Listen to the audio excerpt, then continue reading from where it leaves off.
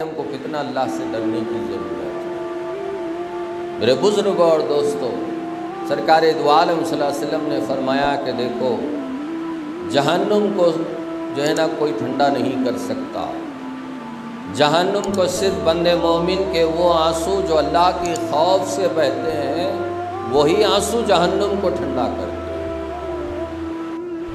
अब देखिए, आँख से, अल्लाह के खौफ से जब आँसू बहते हैं उसकी वो कितने मुतबरक और बाबरकत है मुलाहिजा पर हुजूर ने फरमाया कि तीन आँख, जिन पर अल्लाह मरने के बाद जहन्नुम को हराम कर देता एक वो आँख है जो अल्लाह के खौफ से रोने वाली दूसरी वो आँख है जो गैर महरूम को देखने से बचने वाली आँखें यानी गलत चीज़, बुरी चीज़ों को नहीं देखना हराम चीज़ों को नहीं देखना और तीसरी वो आँख है जो अल्लाह की याद में जागते हुए सारी रात को गुजार देना।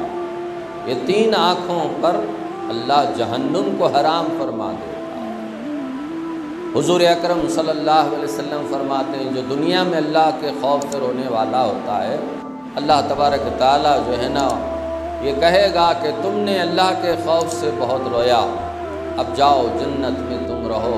अब ये आँख तुम्हारी कभी नहीं रोएगी ये आंसुओं में, तुम्हारी आँखों में ये आँसू नहीं आ अब जो दुनिया में अल्लाह के खौफ से नहीं रोते, जिनकी आँखों में अल्लाह के खौफ से आँसू नहीं आते, अल्लाह ताला खिया, हशर में उनको कहेगा कि तुमने दुनिया में कभी अल्लाह के खौफ से नहीं रोया था।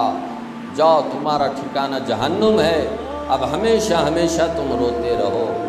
सबसे बेहतरीन रोना अल्लाह के खौफ में है। अल्लाह के खौफ में रोना सबसे बेहतरीन रोना है और सबसे बदतरीन रोना वो है जो दुनिया के नहीं मिलने पर रोना, दुनिया के छूट जाने पर रोना